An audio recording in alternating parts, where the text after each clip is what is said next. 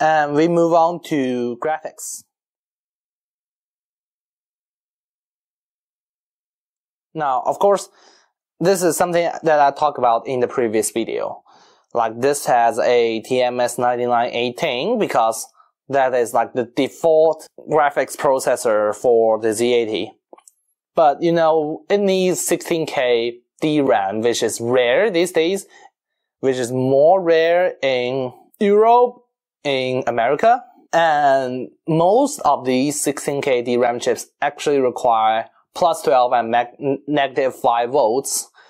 I happen to have some chips lying around that doesn't need those voltages, which is the MB8118 chip. This is a great chip for those of you who want to make a computer with TMS 9918 who don't want like three voltages to be on your motherboard. And, uh, I think the production version will at least move on to TMS 19118, which is a kind of a less known chip, a less well known chip. I don't know why. I, I don't know why. That's a great chip. It works with only two RAM chips, which needs to be 16 by, by 4 and that is great because those chip doesn't require the plus 12 and negative 5 volt voltage. And of course, it reduced the total chip count, it reduced the total traces, reduced PCB area and stuff. But TMS 9918 is like at the bottom, like bottom of the graphics pros performance for 8-bit computers. The only thing that is worse than it is the Atari 2600.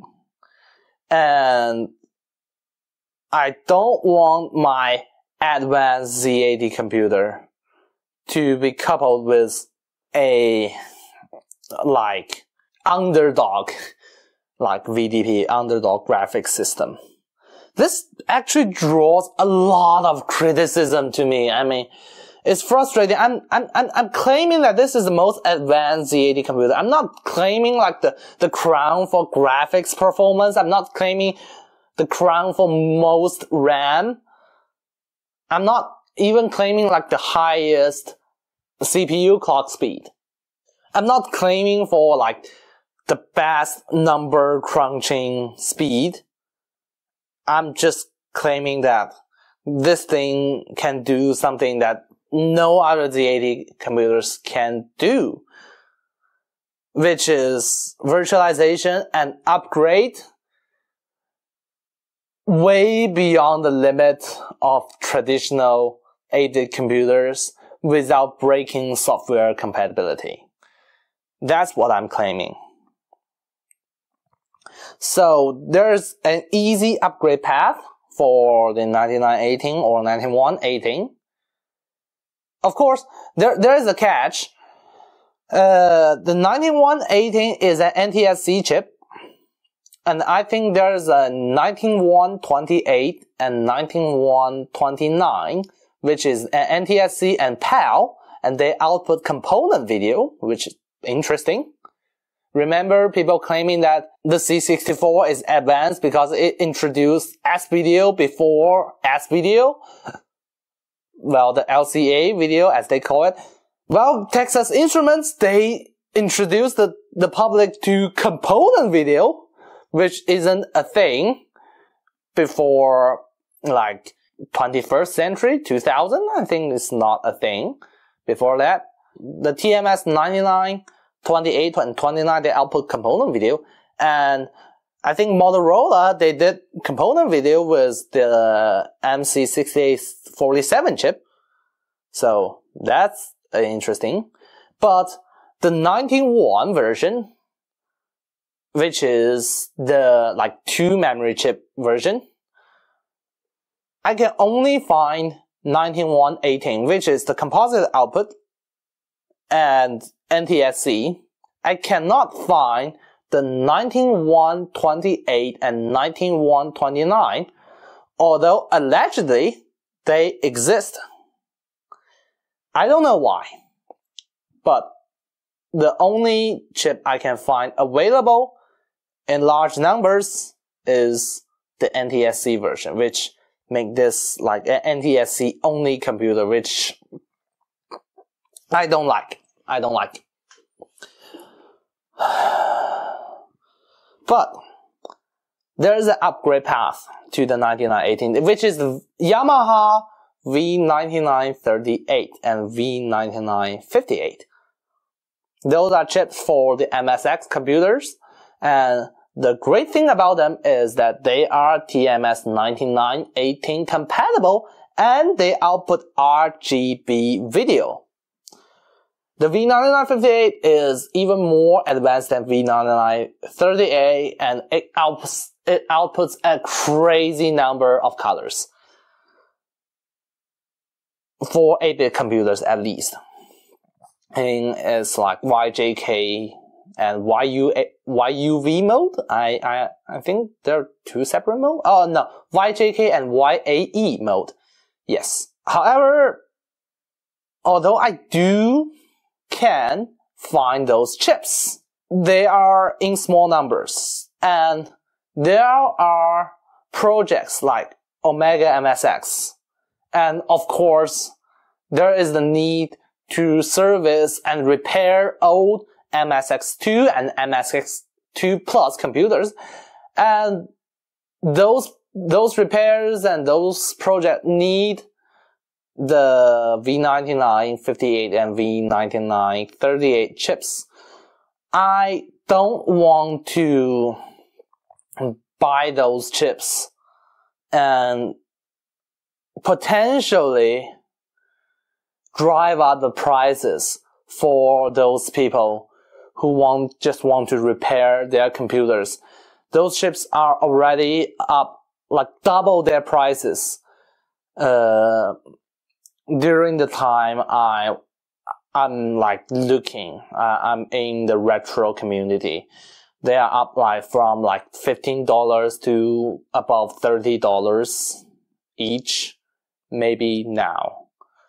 I I haven't looked at that price for a while. Maybe it has, it has gone down, maybe it has gone up, but I think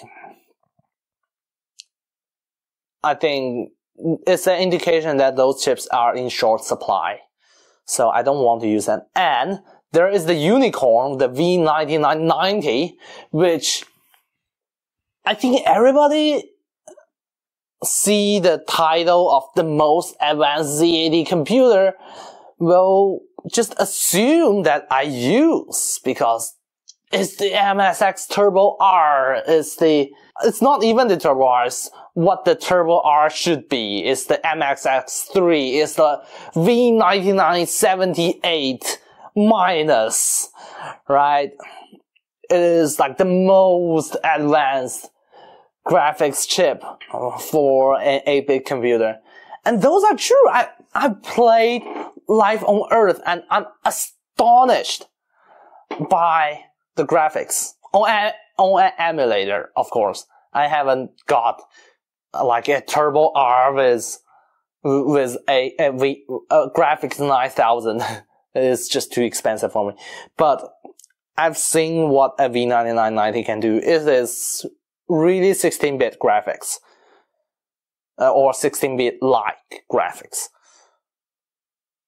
But those chips are in even shorter supply. And I just don't want to compete with people who want to make MSX computers. Because as much as I love my HEC design, I think MSX is just has a lot more heritage and is I wouldn't say it's a more advanced design, but it is a more important design than my personal need to promote my own architecture. Yeah, I do want to make this computer MSX emulation compatible. And if I chose the V9958 chip, I can run like MSX software on this machine with like hardware acceleration. I just pass those graphics calls, graphics writes to the VDP and things will be fine.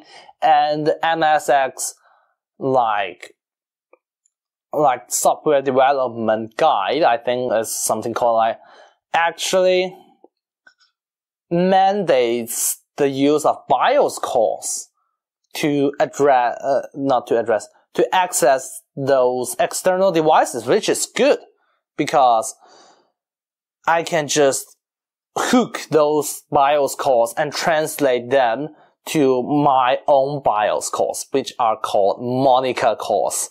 And there's the option for an FPGA. I cannot design an FPGA. I don't know like HDL stuff. I know a little bit of Verilog, but I don't have the time to learn it and do it in the same time. Vera is an option. It's now open source and the author of Vera actually explicitly said you can use Vera on other computers. I think that includes the HEC. And there is the Gameduino. Of course, it uses SPI, but that might not be a problem because I think the the Gameduino can handle a very high frequency SPI protocol. And I can use a like hardware shift register, maybe coupled with DMA to just transfer those data very fast. Uh, however, yeah, Gameduino is not cheap uh, it uses very advanced FPGA and it is basically more powerful than the whole board. Probably.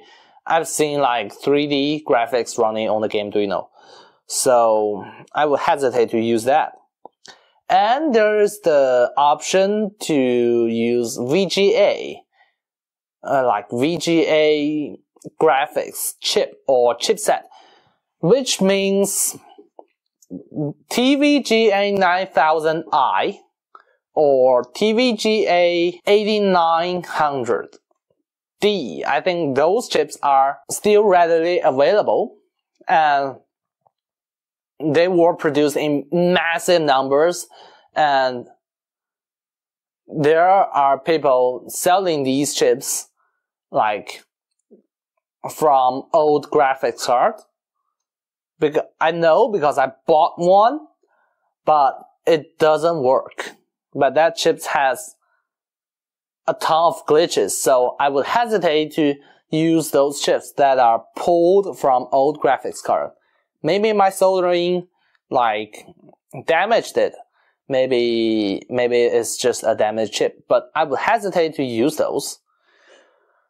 Also, if you are going to the realm of the VGA, you are using what's called a dumb frame buffer, which means that the CPU is like doing all the reads and writes, it draws everything.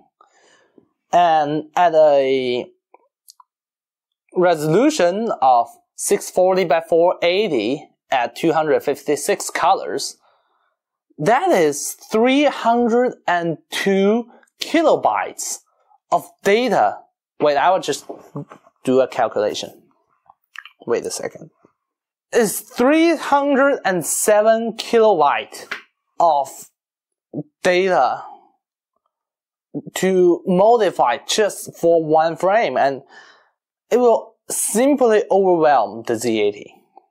It will simply overwhelm the Z80 if you, you try to do it. And the frame rate of any game and any software running on this thing will be, I think it will be miserable.